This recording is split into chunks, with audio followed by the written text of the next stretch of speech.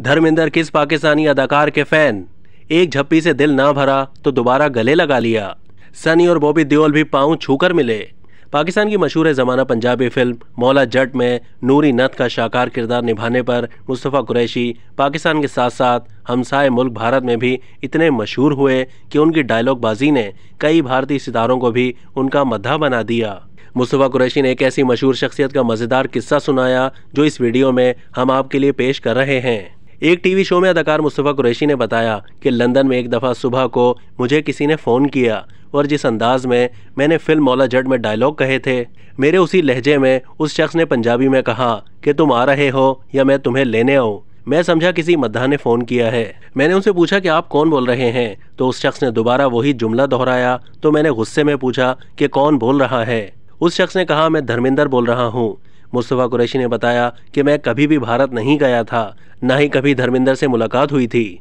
लेकिन इस सीनियर तरीन अदाकार ने मुझे कहा, मैं आपका बहुत बड़ा फ़ैन हूँ, आपसे मिलना चाहता हूँ। अदाकार ने मजीद बताया कि मैंने धर्मेंद्र को कहा, आप हुक्म करें। उन्होंने कहा कि कल लंच मेरे साथ करें। मैंने उनसे कहा कि क्या हम शाम को नहीं मिल सकते? धर्मेंद्र ने जवाब दिया कि चलो ठीक है, फिर डिनर साथ कर लेते हैं। उन्होंने बाद में बताया कि नाइट शूटिंग की वजह से उन्होंने दिन में मिलने का कहा था। मुस्तफ़ा कुरैशी के मुताबिक धर्मेंद्र ने शाम को गाड़ी भेजी तो मैं उनके पास चला गया। जैसे ही उनके घर पहुँचा तो धर्मेंद्र मेरे इस्तकबाल के लिए घर के बाहर फुटपाथ पर पहले से मौजूद थे। उन्होंने खुद गाड़ी का दरवाज़ा खोला और झपी पाई, मुझे घर के अंदर ले गए और वहाँ बिठाया, लेकिन वो खुद मेरे सामने खड़े हुए थे। मैंने उनसे बैठने के लिए कहा तो धर्मेंद्र मुझे दोनों हाथों से उठाकर बोला, यार, एक बार दोबारा गले मिलो, मेरा दिल नहीं भरा। फिर उन्होंने मुझे कस के गले लगाया।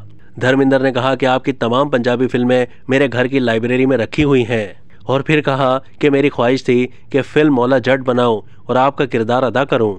मगर डायरेक्टर ने कहा कि आप सुल्तान राही वाला किरदार करें, फिर नूरी नथ वाला किरदार शत्रुघ्न सेना ने किया। मुस्तफ़ा कुरैशी के मुताबिक धर्मेंद्र ने कहा, मौला जट से मुतासर होकर उन्होंने दो फ़िल्में, एक पंजाबी, पुत जट्टा दे और दूसरी उर्दू में बनाई, जिसका नाम था जीने नहीं दूँगा। मुस्तफ़ा कुरैशी ने इंकशाफ किया कि धर्मेंद्र ने बताया कि हमने आपकी फ़िल्म सामने चलाकर बिल्कुल उसी अंदाज में अदाकारी करने की कोशिश की। आपके अंदाज में डायलॉगबाजी करने की कोशिश करते थे।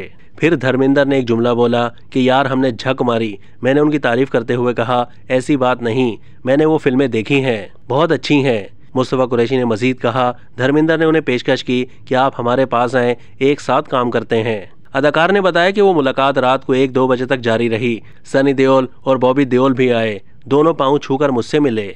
मुस्तफ़ा कुरैशी ने मजीद बताया कि मैं जब वतन वापस आया तो धर्मिंदर भी अपना काम मुकम्मल करके वापस भारत चले गए थे। फिर दिल्ली की एक तारीखी मैगजीन में धर्मिंदर का इंटरव्यू शाया हुआ, जिसमें उन्होंने मेरे बारे में कहा कि हम लंदन में एक उमदा फनकार और अजीम इंसान से मिले थे। मुस्तफ़ा कुरैशी ने बताया कि उसके जवाब में मैंने भी इसी मैगजीन को धर्मिंदर की तारीफ़ पर मबनी ख़त लिखा था।